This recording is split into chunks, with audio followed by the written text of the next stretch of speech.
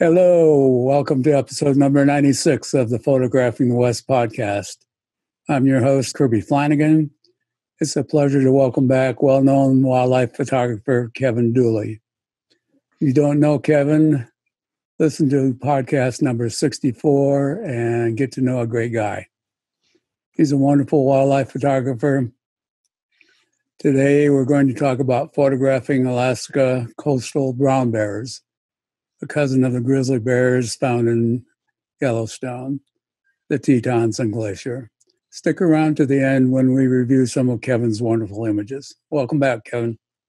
Well, thank you. It's uh, an absolute pleasure to be here, and uh, I, I got to admit that I don't know if there's any more any subject I like better than talking about bears. They uh, they're a huge fascination to me, and certainly one of my very, very favorite animals to photograph. So I am absolutely honored to be here.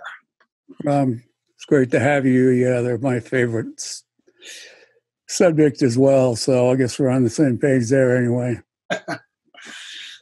so, uh, what's the difference between Alaska coastal brown bears and grizzlies? Uh,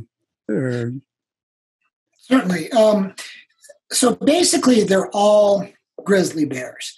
You know, whether you're looking at the bears that are, as you said, you know, in Yellowstone or Montana or any of those places, um, the interior of Alaska, the coastal areas of Alaska, British Columbia, even in Russia. And so the biggest difference between a coastal brown bear and what most people would commonly know as a grizzly bear is their diet. And the coastal brown bears are still grizzly bears. They've just sort of taken on this nickname, so to speak, because they are the largest of all of the brown bears, or I'm sorry, all of the grizzly bears. So they still are a type of grizzly bear. However, their diet consisting more of salmon and in some cases other types of fish, but primarily salmon, provides for the grizzly bears that live on the coast such a nutritional diet of both fat and protein that there are many days when they can put on nine pounds of weight a day. Mm. And so they basically have a diet that increases their their growth. They're they're much larger bears. They're um, larger in both um, body size, head size, paws. Everything about them is much larger. And again, it's it's the nutrition. Now, when it comes to the coastal brown bears, which again are grizzly bears, there are various areas throughout Alaska and Canada where even they can vary in size. And the Kodiak bear, which is also a coastal brown bear, is the largest of the coastal brown bears. So if you take an interior grizzly bear, it can literally be 150, in some instances on a big boar or a big mallet, up to 200 pounds less in weight than a grizzly that lives on the coast, commonly known as a brown bear or a coastal brown bear. Does that sort of help with that? Does that answer that question for you? Yeah, that's great. Um, where are the best places to find brown bears in Alaska? Well, they they basically from you know the extreme end of the Aleutians all the way up to coastline, you're going to find those bears, and the various salmon runs will determine where the bears are located and the different types of salmon will actually run or for you know you could say migrate at different times of the year throughout the warmer months. Anything from you know late june all the way into september there'll be different types or different species of salmon that will be running in different areas. And the bears sort of specialize in feeding on salmon. And they may even specialize in a specific species of salmon, although they're going to go for anything they can catch. And if one area, as an example, may be a good fishing area for sockeye salmon, but further up the river in another area might be better for silver salmon, those bears will move around a bit. And they will also follow those salmon from when they first start entering into the river system all the way up the rivers to where they're spawning. And once they get to their spawning area, the salmon will basically stop in that area, lay their eggs, and um, once they've laid their eggs, they begin to deteriorate. Well, they actually begin to deteriorate the second they they hit the fresh water. As soon as their body goes into that shock of switching from salt water to fresh water, the salmon begin to deteriorate. But once they reach their spawning area, they've laid their eggs. Very, very quickly, they're going to be dying. And the bears will follow those fish all the way up the river system until they end up in the spawning area. And that's where once they, the salmon are done there, a lot of times those bears will peel off away from the rivers and start feeding more on berries, uh, could be moose calves and various other types of food. They are omnivore, omnivores.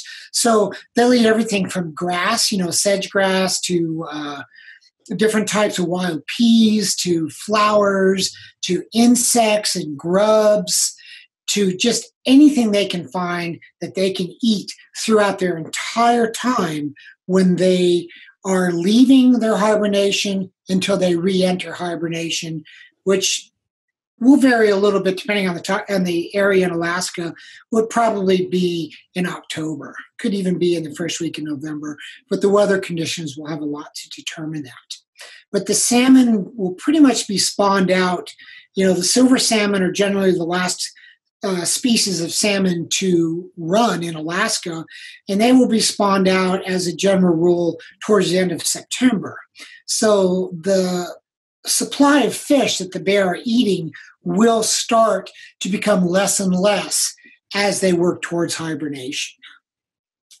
So, to answer your question in a nutshell, you can pretty much find them anywhere along the river system as long as there's salmon that are spawning, and the bears will move from location to location following the fish. Sure. How do you get to these places where the bears are available to be photographed? Uh...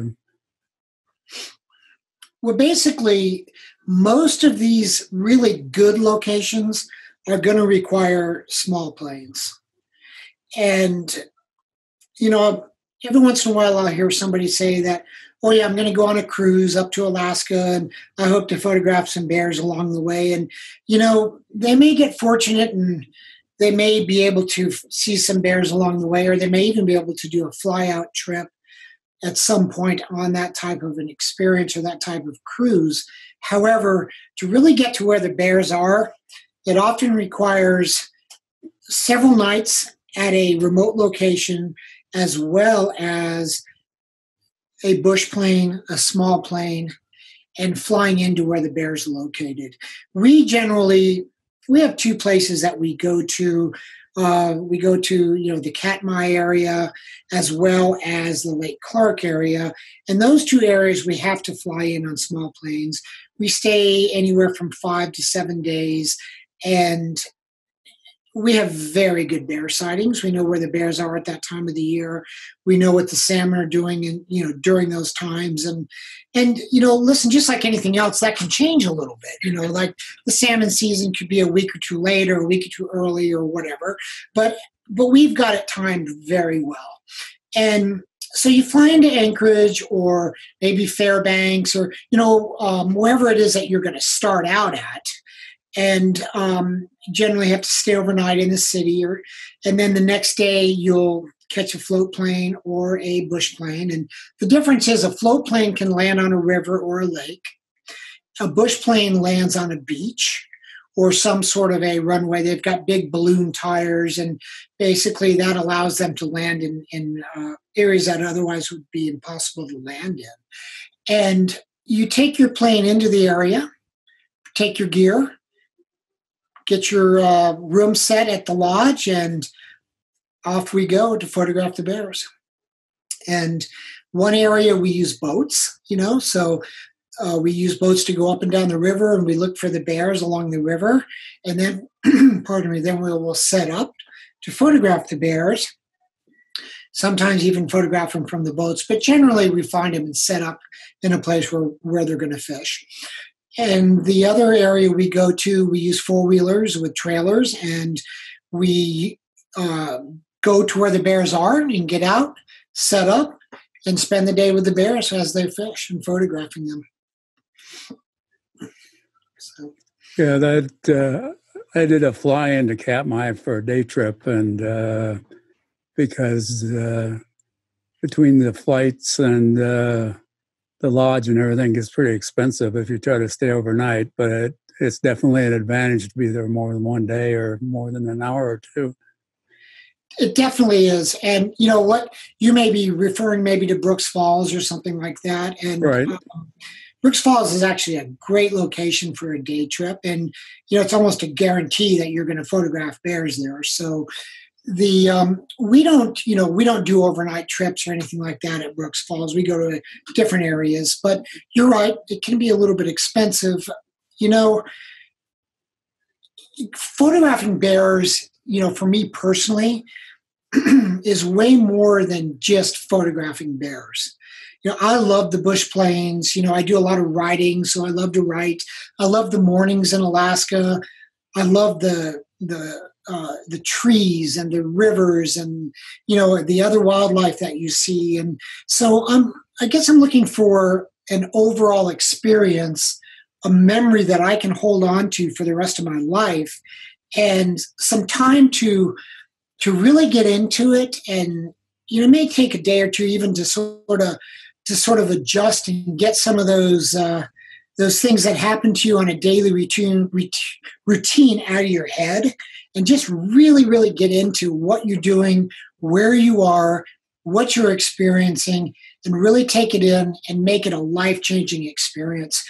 And and, and it's so much fun, you, you know, to sit around dinner at night and talk about the bears you've seen, and to know the next morning you're going to head back out again, and there's going to be some other great adventure. And you know, the more days that you spend on the river or wherever it is that you're, you know, you're spending your time photographing the bears, the more it's going to increase your chances to see something unusual. Maybe an argument between the bears, or maybe a bear trying to steal a fish from some cubs, or maybe even some cubs, you know. And so the longer you can spend out there, I think it's really worth the money to to invest, so to speak, into a trip that is going to give you something that will stick with you for the rest of your life. And listen, a one day trip, if that's all you can afford, I still recommend doing it. It is it's so worth doing. But if there's a way you can pull off a long trip, it is just magic, absolute magic. Absolutely. Couldn't agree more. So, uh, what, what gear do you use to photograph bears? Well, let me first start off by saying that, you know, obviously being careful is really important. You know, for some reason bears have this reputation of being like vicious animals and it almost breaks my heart to constantly see people writing things shouldn't say constantly but people writing things about you know weren't you scared or you know gosh bear, bears are so mean or so vicious or whatever and and i hate to to read that because you know just like any other animal you know if you're careful and you keep your distance and you do things correctly it's very safe to photograph bears. You just have to listen to the guides and do and follow the rules. And one of those rules is using a lens that's going to be able to reach out and, and photograph bears at a distance. And so I'm using a Sigma 60 to 600, and I end up shooting at 600 a good most of the time. I also use a Sigma 500 Prime with a 1.4 converter. So that takes me out to 700. And I'm still having to crop images sometimes, you know, even at 700 millimeter, I will still end up cropping an image because I want a really nice portrait or a headshot of a bear. And so, with those kind of telephoto reaches, you know, you can get some phenomenal images and still maintain a safe distance from the bears. I have been charged by a lot of animals in my life. You know, I've been uh, a registered or certified safari guide for many, many years. And um, the one animal I've never been charged by is a bear. um, I've been charged by elephants, I've been charged by lions, rhinos, and other species. Never one time have I been charged by a bear. And I'm not saying that we're not careful because believe me, we are very careful. We really watch what we're doing, you know, because safety is of utmost concern. But um, I think bears deserve a fair shake, and they're wonderful, wonderful animals to watch, to photograph, to study, to learn about. Just absolutely incredible and wonderful animals. Yes, they are. Yeah, they're amazing. And uh, I feel the same way. I love watching them as well as photographing them. They're they're just wonderful, wonderful animals. So, how do you approach the wild bears? You talked about safety. Uh, talk about that a little more. Well, you know, um, all animals have certain habitat or certain uh, displays that they do if they're feeling threatened or if they're not feeling threatened or if an animal is involved in a certain activity you know you know basically you know where that animal's attention span is what the animal's thinking about what they're concentrating on. And so with bears it's just really important to understand that you don't approach a female with cubs um, you don't approach a male that is aggravated. They make like almost like a clicking sound when they're aggravated. You watch how their ears are set. And, you know, when bears are fishing, they get very um, involved in what they're doing. They're, they're, they, they have one thing on their mind, and that's to catch fish and, and fatten up for the winter. And as long as you're not um, cornering them or you're not making them feel threatened you're really not interested in what you're doing.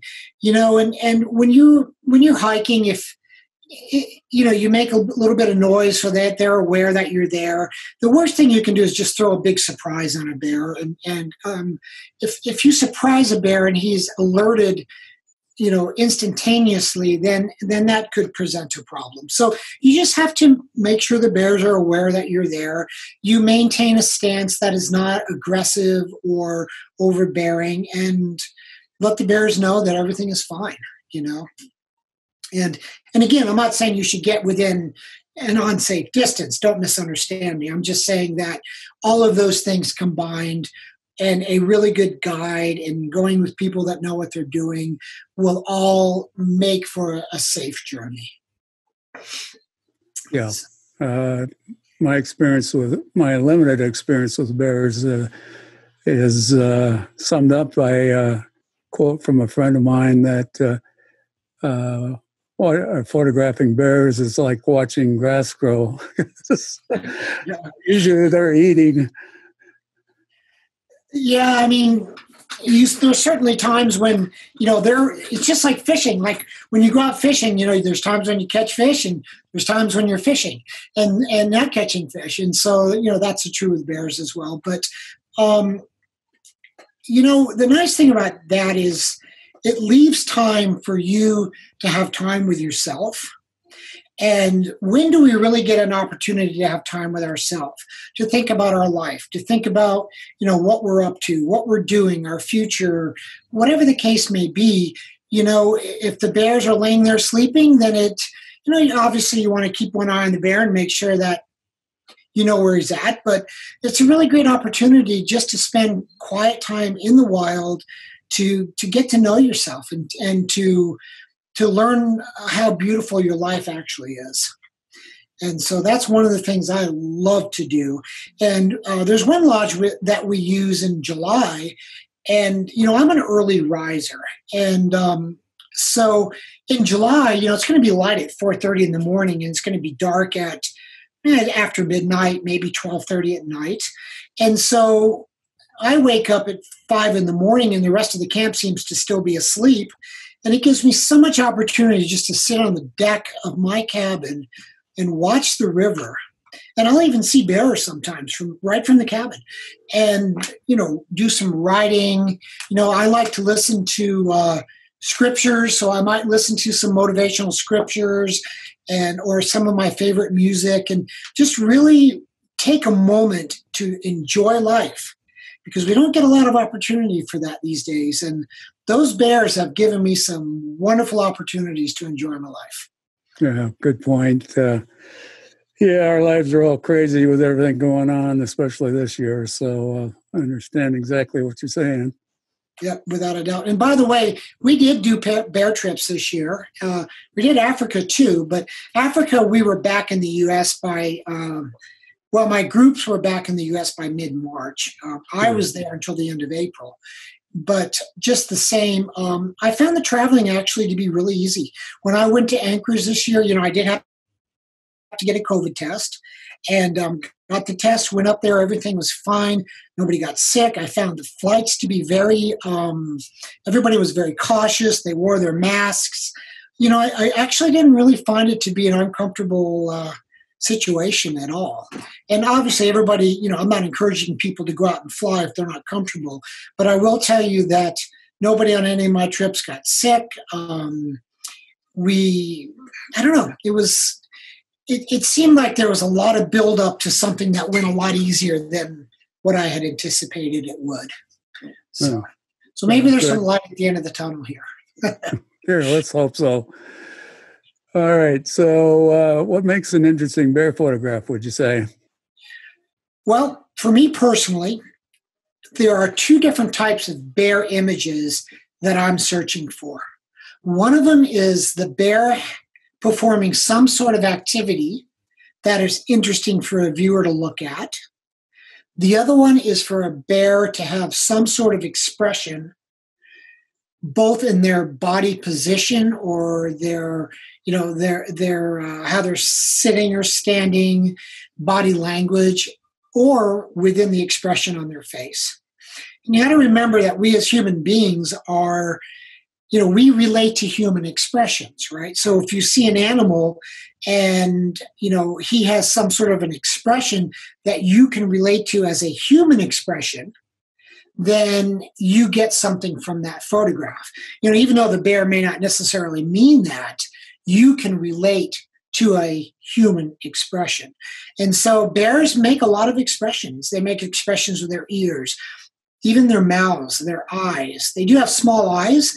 That's one very difficult thing about photographing bears is, is how small their eyes are. But um, how they tilt their head, whether they're facing towards you, facing away from you, all of that body language creates expression.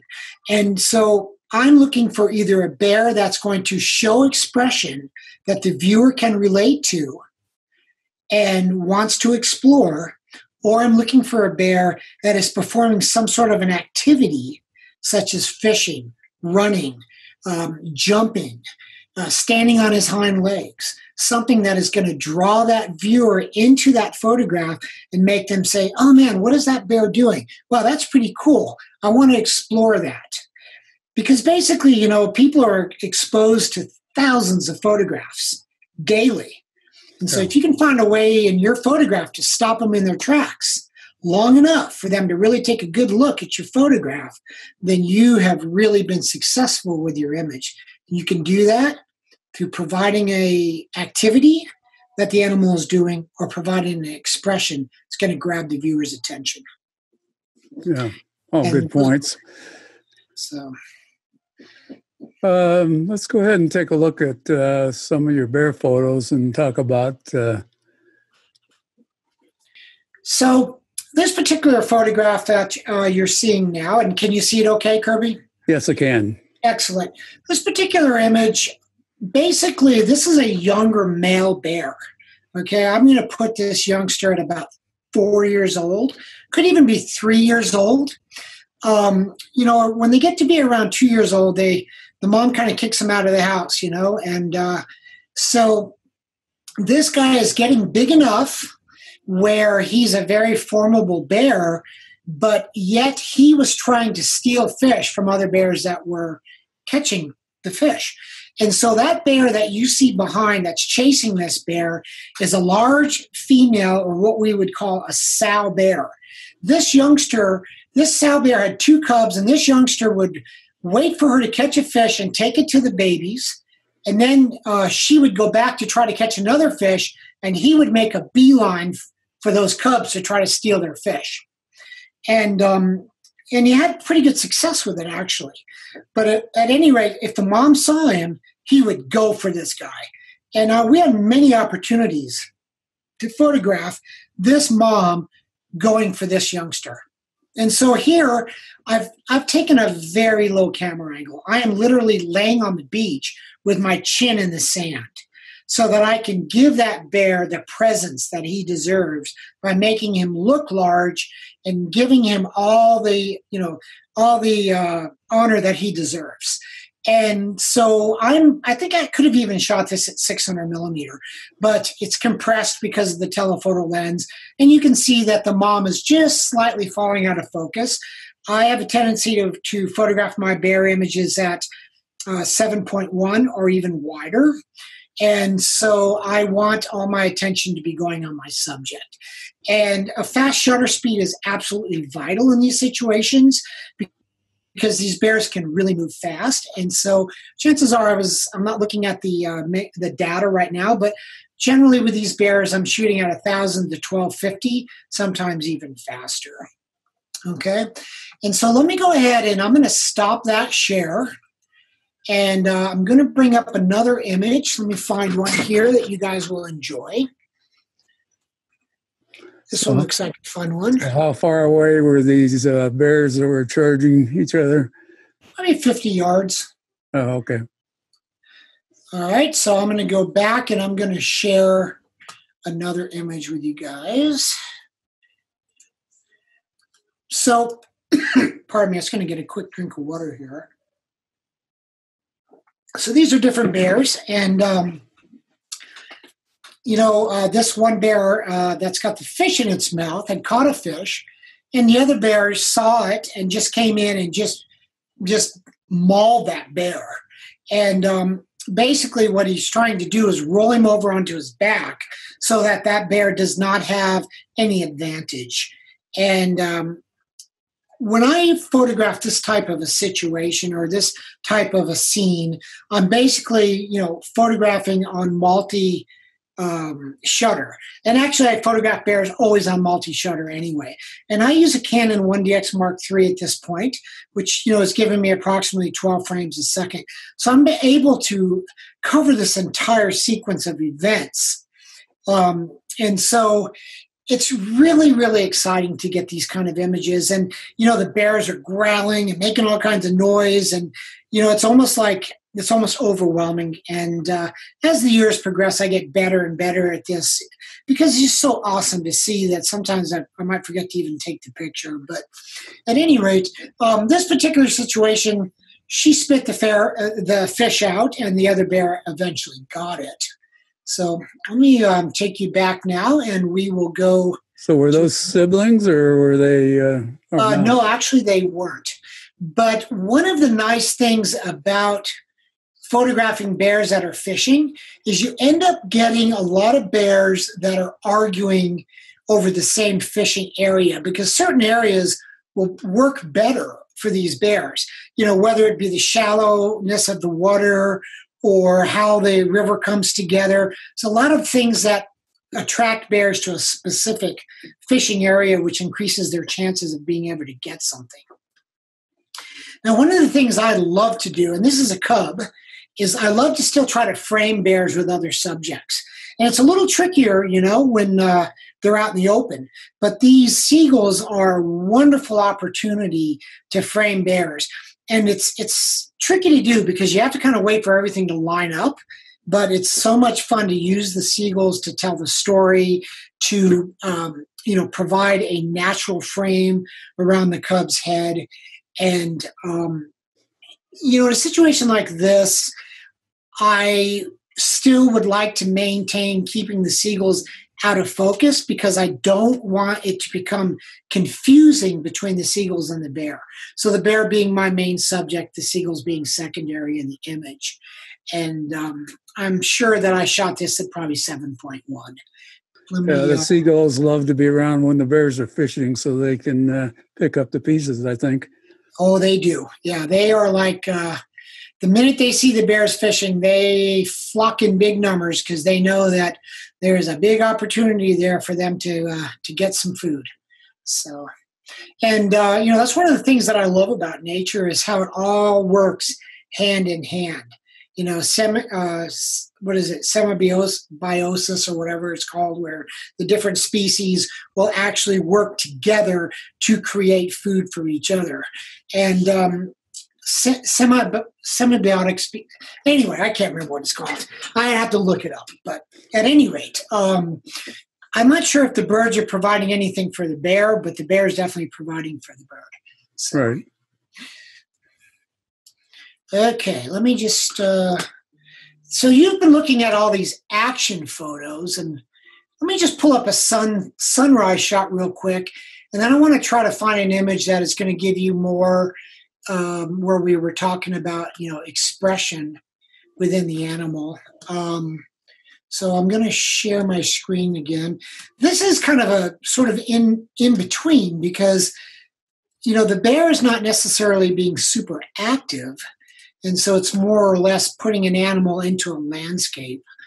But uh, in this particular area, we have to do these photographs at sunrise because sunset, uh, the, the sun goes down behind the mountain on the other side, and you just can't get anything out of it.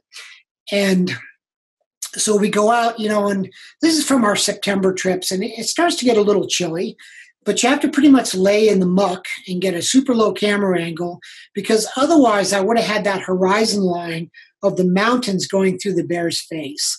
And obviously, we don't want that. We want that bear's head to stand on its own. So, getting a super, super low camera angle and uh, just waiting it out until the bear gets in the right position.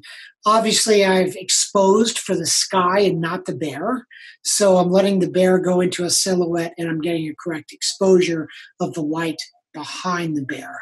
Picking up the reflection in those little bits of water in front of the bear was also a sort of a nice. Uh, environmental bonus that God gave me on that day, I guess you could say, because uh, it doesn't always work out that way, but it's certainly nice when you get those little extra bits to help you enhance a photograph. And uh, this is actually one of my favorite images from that trip because that is totally a real sunrise. It's not, you know, enhanced or added in a way that I've added clouds or anything like that. That's the real deal. And uh, anyway so that's that's uh, obviously you know placing the animal within the landscape and picking up the emotion of the colors and the swirls in the sky and the sunrise and you know just what it's like to be with that bear first thing in the morning. Yeah that's so, a spectacular sunrise i have to say.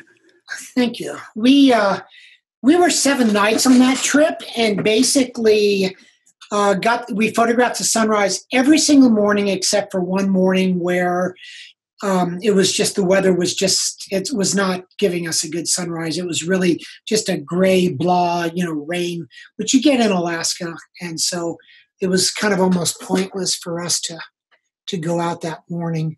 Looking for one specific image here. Uh, here question, question uh, so, uh, how do you uh, dress to crawl around in the muck? yeah. Well, that is a very good question, and I'll answer that while you're looking at this next image. And this is an image where we're going for expression, right? Yeah. Um, so we're looking at, you know, you can see there's there's just so much expression in this bear, and if you're going to get a really good portrait type image, then you need to make sure that it's not just bland, that there is a bit of expression going on and it's going to pull that viewer right into that photograph. So, as far as how we dress, um, I wear, you know, chest waders, which are obviously a rubber sort of suit that goes all the way up to my chest. I wear wading boots, so all of that's keeping me dry from my chest down. And then I'm wearing a raincoat.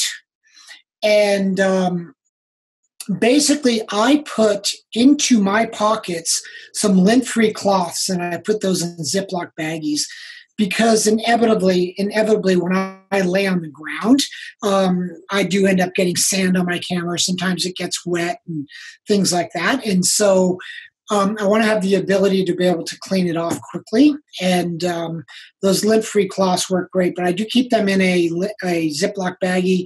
So that way, if my hands get wet and I end up putting my hands in my pockets or whatever, I'm still keeping those lint-free cloths dry and clean you you just when you lay down out there you you just get wet. It's just i mean well you don't personally but your clothing gets very wet. And another thing i think is really important is to when you buy rain gear is to make sure that it goes down below your waist. Um, but between waders hip waders and a raincoat you're basically completely uh, insulated from the moisture so I don't like to shoot with gloves on. And so, unless I absolutely have to, I keep my hands without gloves. Or a lot of times, if I absolutely need them, I'll use the mittens where I can put a finger out. Um, I just I don't enjoy shooting where I can't actually feel things on the back of my camera with my finger. So. That's a great gesture with that uh, left uh, front paw. Yeah, and that's how we were talking about before about the body language. You know, yep. the body language of the bear um, is, you know, it's it's everywhere. It's like I was saying, leaning forward, leaning back. You know, here, paw coming forward. You know how the t- head is tilted, where the eye is set within the eye socket. You know, the tilt of the head. All of those things are going to make a difference. So I'll bring up one more image for you guys. Let's see, I'm going to stop that share and go back and let's see um, what we've got here. One of the other nice things about photographing bears is that you will sometimes get opportunities you know, to find other species to photograph, whether it be foxes or eagles or anything like that. And I want to bring up this next image and I want to explain to you how important it is to always be prepared to photograph at a fast shutter speed. Because you never know you know you may be doing a headshot of an animal and think oh yeah you know i'm okay at you know 400th of a second or whatever and uh, all of a sudden that animal just jumps into action. And this is a prime example of that. I photographed this fox and um, he was just sitting there and i was photographing him and bam, he's like picks up this you know decaying salmon and jumps over this little uh, little canal or whatever you want to call it. And fortunately, my shutter speed was set at a fast enough shutter speed that I was able to still stop that motion. And so you just never know. And this is actually a low res image, so um, it's going to have a little bit of quality loss here as you look at it now. But at any rate, um, you just never know when these animals are going to do something that's really awesome. And I can't tell you how many times I've like kicked myself in the butt or felt disappointed because, you know, I, I was either not paying attention or I didn't have my camera on a fast enough shutter speed and something amazing happened and you miss it you know, and those moments are few and far between. I mean, I got to say, in my whole lifetime, I've never seen a fox jumping across a little canal with a salmon in his mouth. And had I missed this shot, I would have been pretty disappointed. Yeah, I guess so. That's an amazing shot. So, anyway. All right. Yeah, ironically enough, this image was actually shot at a little bit of a distance. Um, really? I personally, uh, I believe I shot this at 400 millimeter or something like that, but um, I was down low and I guess so. And the bear was also even higher up again. He wasn't even level with me. So it really worked out nicely to show the power of this particular bear. And um, he was just walking along the beach when I shot this image. Um, those are two, actually, a mom and two cubs behind him in between his legs there. So I basically took several shots of this bear walking along and um, was able to. Uh, this is one of my favorite photographs that I actually got this year. And again, it's all about perspective of, you know, a low camera angle. Another thing that really gives us bear perspective is where his head is in comparison to the mountain behind him. So people will automatically think a mountain, you know, that's a really big thing. It's a really tall thing. And by lining his head up um, even higher than the peak of the mountain, it also gives that bear the perspective of being just massively large. Yeah, sure does. Yeah. Yeah, that's, uh, I, I love, actually really am proud of this shot. So. Uh, as well, you should be. so, how far away were you from this bear? Uh, I don't know, quite a ways, probably 40, 50 yards, something like that. Wow. Is this cropped then, or? It is cropped, yeah. Okay. But yeah. remember, it's a strong lens too. It's a telephoto lens, and it's a full body shot. So. So, uh, how do you stay safe laying on the ground with uh, bears wandering around you? Um, well, you keep your distance. and you also, um, there's guides there that are watching, and you watch what direction the bear is walking in you know th- this as you can see by looking at this bear he's not even interested in me. He's not walking towards me or anything he's just walking past me. So if he started heading straight towards me then i would would be moving. You know? So but yeah i love this shot. So. Imagine the bear can sprint faster than you can though huh um, bears, oh yeah, bears can definitely run faster than humans. But again, you know, we're we, we we're trying to uh, you know we're we're trying to maintain safety and respect the bears and everything, but we also don't want people to think that bears are just these killer animals. You know, right? So, and again, I'm not saying that you shouldn't be careful of bears because they obviously can be dangerous, but we also don't want to um, you know, give them a reputation that's not deserved. So. Um, always makes big headlines when somebody is attacked, even if uh, they're doing something stupid to uh, to get attacked. Exactly, and and unfortunately, you know, and I think more people have been attacked by mountain lions in the last couple of years than bears. But it's just you know, it's sensational news. It's just like any other kind of news, you know. Um, if they can word it in a way and add sensation to it, know it's going to get a lot of a lot of readers looking at it, then they're going to do whatever they need to do to be successful with that, you know. And I mean, who's not going to look at an article that says, you know, somebody was attacked by a bear? It's just you get drawn to it, you know. Yeah. I think there. I think there's more people that die from bee stings than then die from bear attacks. Yeah, that's actually a very valid point. And you know, I'm going to show you another image here. Okay. And um, the reason why I'm going to show it to you is because it is completely opposite of everything that you and I are talking about right now. And I just want people to, I just want to make sure that, you know, people love our wildlife and don't get, you know, that it doesn't get them the wrong impression. So, obviously, two cubs um, right. exploring each other, um, actually learning how to to deal with um, interactions with other bears. And uh, this is a, I actually think it's a, a, brother and a sister. When they're this young, sometimes it's hard to, to tell whether they're male or female, but um, my best bet is a male and a female. And um, they're basically, you know, learning how to deal with encounters of other bears as they grow older.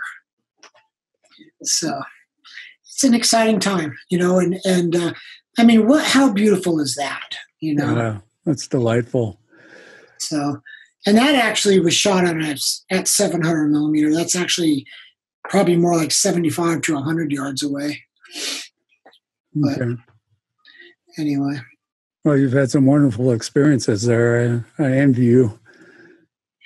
Um, I absolutely, absolutely love uh, photographing bears, and I absolutely love what I do. And uh, it is certainly a highlight in my life, and I couldn't imagine spending my life doing anything else. It um, gives me so much joy that it's not even funny. So, speaking of that, uh, what are your plans for uh, 2021? Um, well, we'll be in Alaska uh, twice. We'll be. Um, I, have got the busiest 2021. Uh, it'll be the busiest year I've ever had. So we'll be doing India, Brazil. Uh, we've got, I think, 12 or 14 safaris in Africa. And um, so I'll be gone I'll be traveling a lot next year. In addition to the safari, the new safaris that we're doing, we're also we had a few safaris that we had to move to next year because we weren't able to travel in some instances this year. And so we are very filled up next year. So busy, busy, busy. I hope to get. I'll, I'll be getting a lot of images next year. so. Okay. Yeah. Sounds very busy for sure. So, uh, where can people find your photos and your tours and all those sorts of things? Well, my website is um, it's idubephotosafaris.com. So um, you would pronounce it like I do be, but it's spelled I D U B E. Again, that's I D U B E, photo, P H O T O, safaris, S A F A R I S dot com idubephotosafaris.com. I'm also on Facebook under Kevin Dooley. Um, I, I, unfortunately don't have any friend any more friend requests available, but people can follow me, and they can also follow me on Instagram. Uh, Instagram is also under Idube Photo Safaris. Um, I've got a YouTube channel where we talk a lot about uh, you know techniques and gear, and that's also under Idube Photo Safaris. Again, it's I D U B E P H O T O S A F A R I S, Idube Photo Safaris. Okay, sounds good. Well, thanks for a great podcast, Kevin. It's uh, been a real pleasure talking to you and looking at your photographs. So, hope we can do this again sometime. Well, the pleasure is certainly all mine, and uh, I really appreciate this opportunity to be able to, you know, to share some wildlife and some ideas and uh, to encourage people. Uh, gosh, you know, if you have the opportunity to get out there and photograph wildlife, it is a stunning and very rewarding experience, and it never grows old because, unlike other types of photography, these animals never stop doing things that are just amazing, unexpected, and there's always another image on your bucket list that you want to go for it's a lovely, lovely experience. Absolutely. So. Well, let me do my wrap up here. So, uh, the audio podcast can be found on my website and iTunes and many of the popular RSS feeds as Photographing the West. The video version can be found on my website at www.flanaganfotos.com, spelled F L A N A G A N F O T O S. We're here on the 15th and 30th of each month with new, with new episodes where I do interesting interviews with interesting people, most of them photographers. Bye for now, and we'll be back soon.